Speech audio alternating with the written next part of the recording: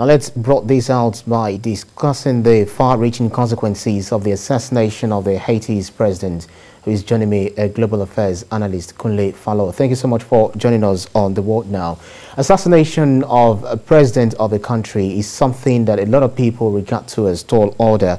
But with the recent killing of the Chadian president and some other top figures who are heavily protected, what do you think, it's, why do you think it's possible for Jovenel Moise to have been killed or assassinated in this manner? Well, that's a great question. Um, let's uh, take a little bit uh, uh, introspect uh, to what uh, Haiti is uh, all about as a country. It's a, a, small country, relatively small country, with over 60% of the entire population under living under the poverty line, meaning that uh, more than half of the entire population is uh, is hungry and, and, and you know they're not they're not doing very well.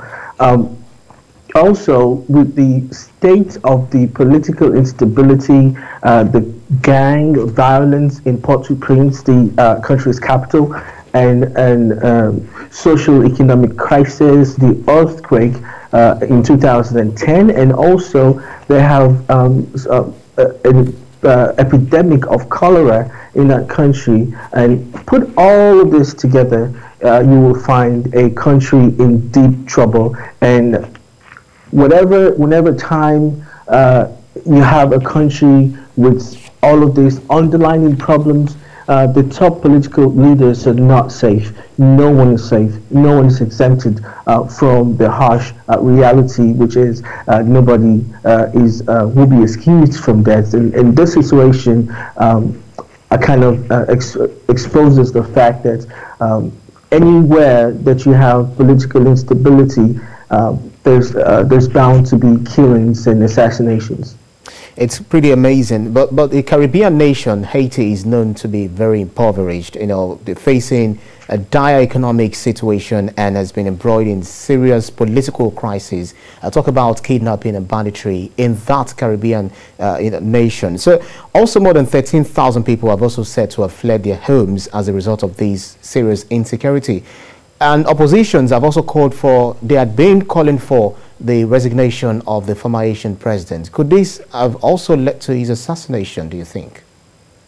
Oh, definitely. Um, like I said, uh, the, the state of uh, huge amounts of economic problems and uh, woes and, and all of the instability in that country has made it so very fragile. Uh, the democratic process is also uh, at the brink of collapse. The entire country economic uh, well-being also is at the brink of collapse. The United Nations uh, is still continuing to send um, uh, aid, the United States, for instance. And by the way, uh, Haiti is very close to, it's a North American country close to rich neighbors like Canada and the United States, meaning that um, there's likely uh, going to be a spillover from you know this crisis because when there's gang activities and gang violence, people are prone to leave the area or community and thereby they move over to richer countries or richer uh, uh, places, meaning that um, the entire North American corridor isn't even safe because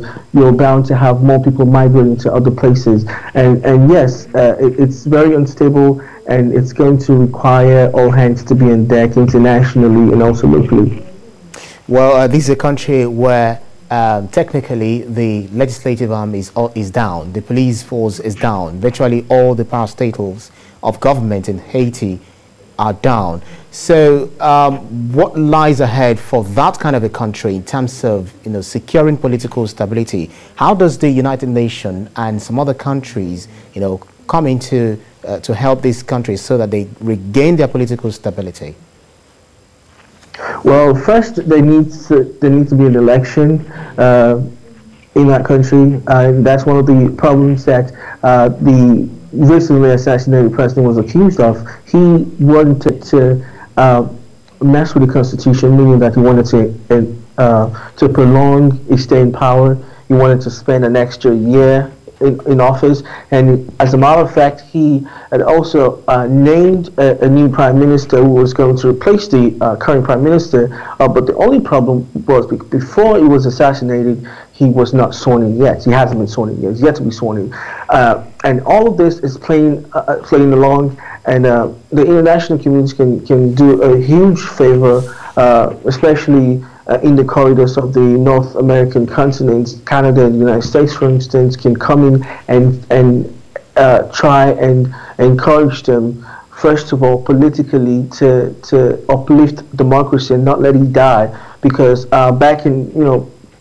Uh, go, going back to, to, to, history, about 30 years, uh, in, in the space of 30 years, uh, the United States have gone into into Haiti and helped them um, when they had uh, a coup twice, uh, and they had sent the mercenaries to help them um, bring back democracy uh, twice in that country, and there have been also influx of foreign aid from from United States.